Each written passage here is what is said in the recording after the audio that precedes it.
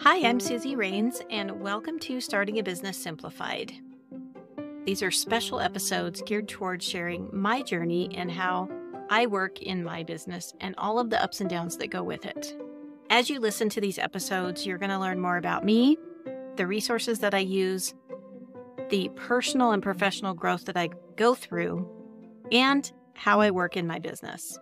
In order to follow this particular journey, you will see in the title of each episode Suzy's Journey. That's going to identify that this is part of the series that I'm recording specifically for what it is that I'm doing in my business. I'm so excited that you're here, and I look forward to going on this journey with you. As always, keep it simple. Welcome back to Suzy's Journey. In this episode, I'm going to share with you some of the realizations and awareness that I have been having this week. So, first of all, self love. That's been a big one for me. Every time I journal and I take quiet time for myself, I ask myself, what do you need? I'm I'm really speaking to me, my essential self and I say, Suzy, what do you need? And then I pause and I listen. The voice in my head, the voice that comes up, keeps saying to me, Love me.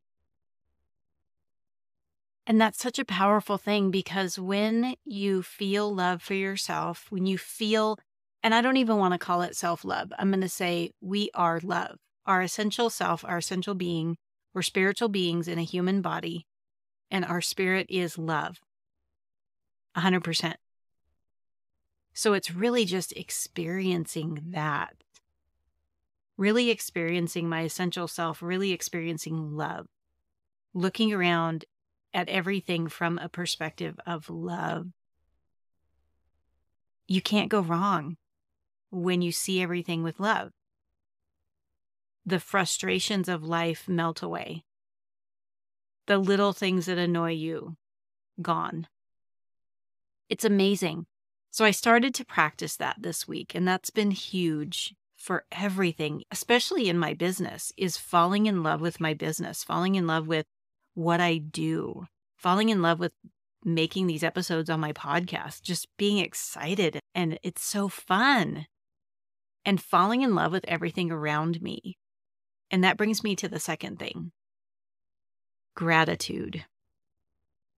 Being grateful for the sun coming up this morning. Being grateful to have a place to lay down at night to get a good night's rest. Being grateful for this equipment that I have to record on my podcast, that whenever I feel like it, I can hit record and I can make an episode that's just absolutely amazing. Being grateful for it's springtime right now, and I'm looking out my window and I see the trees are getting leaves and there's green on the ground now. And, and we're in the mountains of Colorado where it's been brown because it's been cold and we've had snow. And now everything's coming back to life and birds are flying around and chirping. And it's so beautiful being grateful and just realizing all of the wonderful things that I have around me in this life and recognizing them. That's been so big. And I've been making it a practice to do that every morning when I wake up and every evening as I drift off to sleep, being so incredibly grateful for another beautiful day.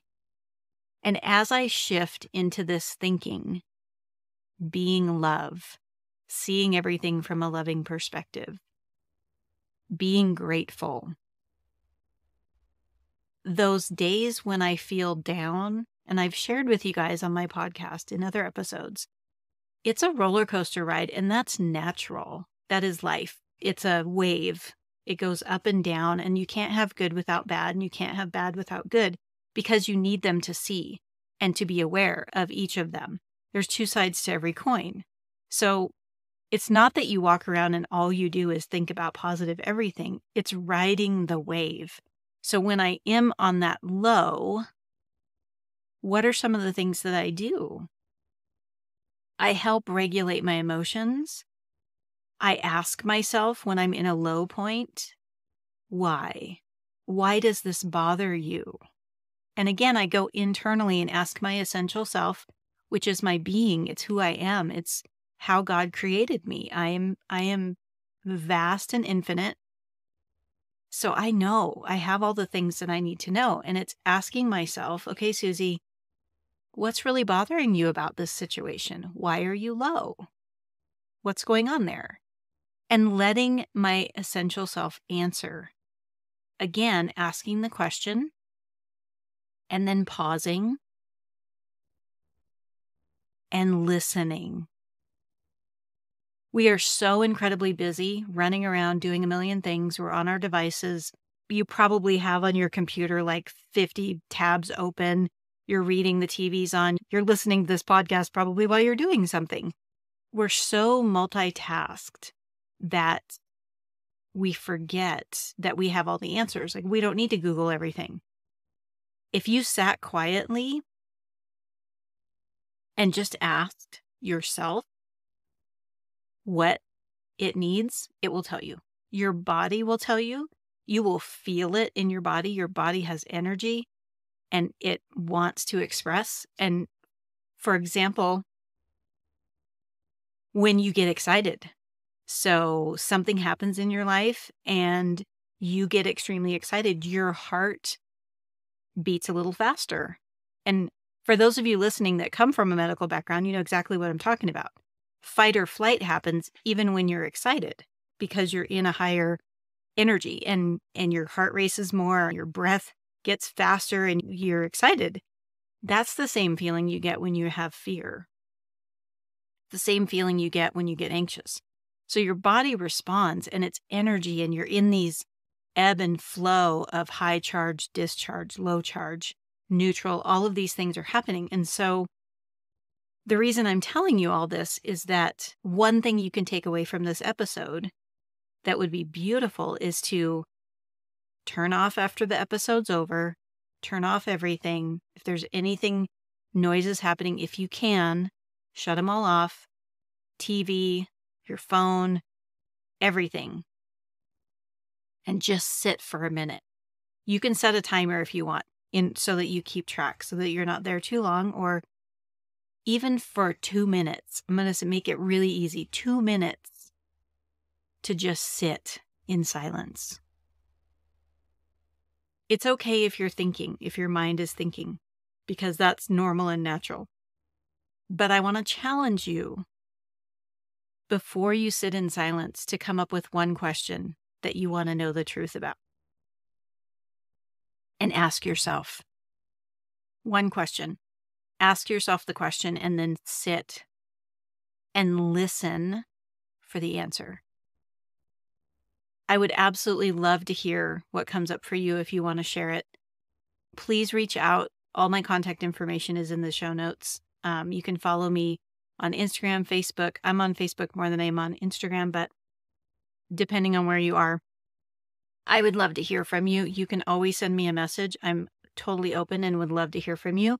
If you want to send me a message on social media, if you want to go to my website and send me a message there, you can reach me anyway. On my website, if you click on the bottom right hand corner, there's a way to chat with me. So if you want to chat with me, I'm happy to do that.